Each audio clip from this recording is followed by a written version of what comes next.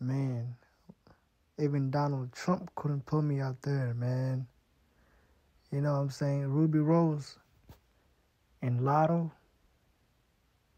Man, you're going to have. What? If, had, if anybody had a chance with Latto, especially for me, I would say Latto. A lot of people be hyping up Rubi Rose, and, but I think I'll take Latto, man. Latto just looks like, you know what I'm saying? She knows what she's doing. Like, she won't let shit slide. But they both bad, bruh. You know what I'm saying?